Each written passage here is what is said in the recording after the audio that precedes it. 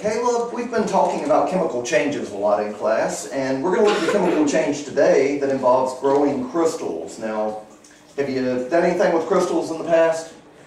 Mm, Not really. Okay. Well, I know we talked about them a little bit last year when we were talking about rocks and minerals and looked at some things like quartz crystals and other, other types of mineral crystals.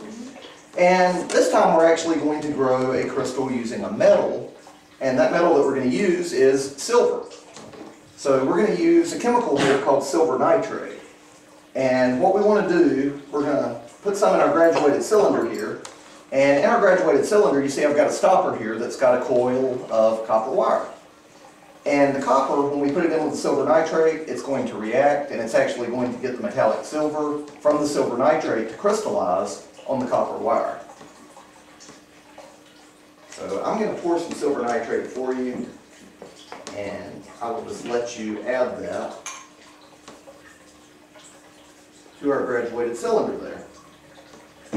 Just pour that in very carefully, try not to spill any of it. Okay.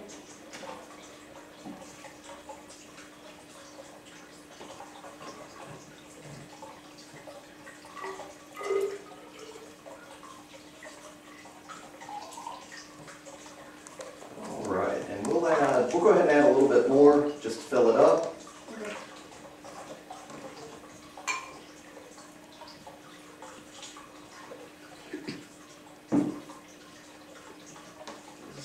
All the way to top of the graduated cylinder, fill it enough.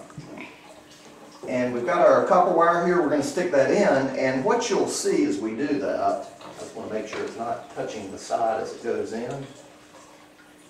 Once we get it in there nice and straight, you'll see a chemical change taking place on our copper wire fairly quickly. Do you notice anything happening to it? It's turning like a silver color. Okay, it's starting to turn a silvery color. And that's actually, as soon as it goes in, that metallic silver is starting to form along the copper wire. And the longer it sits, it's going to get kind of a fuzzy look to it.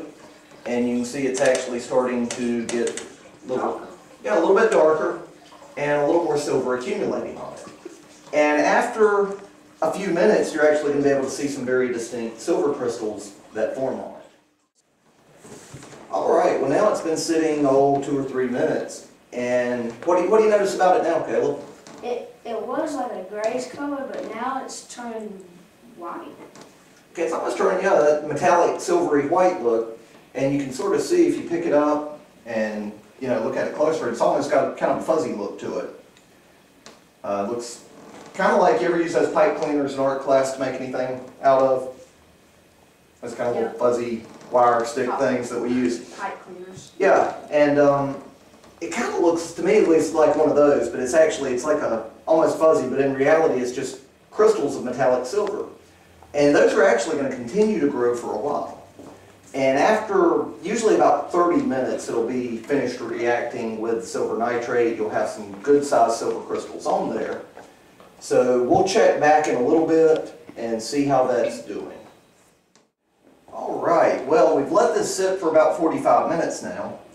And what you see, you see a lot of nice fine silver crystals that have formed on our copper wire. We talked about how it was fuzzy looking before. It's really fuzzy looking now, and even at the bottom you see some kind of sharp, pointy crystals that are sticking off there at the bottom as well.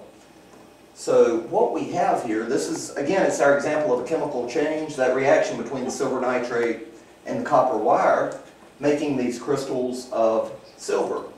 So Caleb, next time somebody asks you what you know about making crystals, tell them you know how to make silver from copper.